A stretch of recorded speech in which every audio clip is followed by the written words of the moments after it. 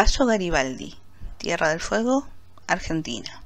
El paso sobreestante Luis Garibaldi, más conocido como simplemente Paso Garibaldi, es el único paso carretero que ha logrado atravesar el encadenamiento de los Andes fueguinos, porción austral y terminal de la extensa cordillera de los Andes.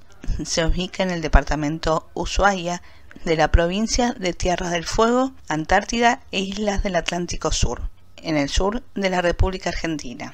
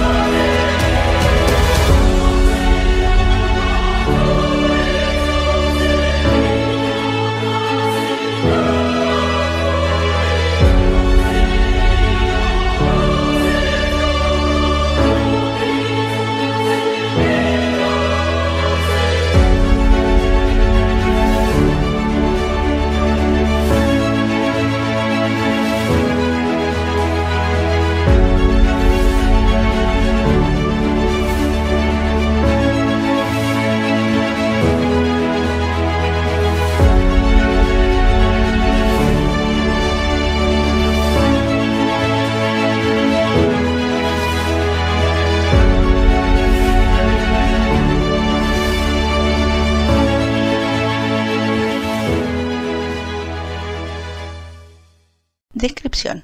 Se encuentra en el kilómetro 3007 de la Ruta Nacional número 3, constituyendo con 450 metros sobre el nivel del mar el punto más alto.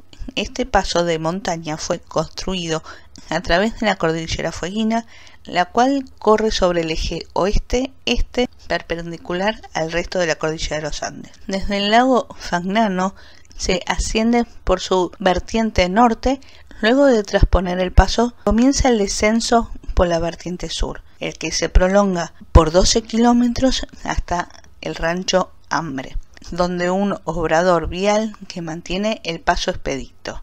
Aquí nace la ruta J que lleva a la estancia Arbertón, mientras que la ruta 3 continúa hacia la ciudad de Ushuaia. Por él discurre la totalidad del transporte terrestre que conecta el sector trasandino fueguino con el resto de la Argentina. Al estar completamente asfaltado se encuentra abierto todo el año, pero en invierno suele sufrir cortes luego de intensas nevadas. Junto al punto de mayor altitud se sitúa el mirador del lago escondido, con lugar para el estacionamiento de, de vehículos. Desde este mirador se obtiene una vista panorámica del lago escondido y parte del lago Fagnano.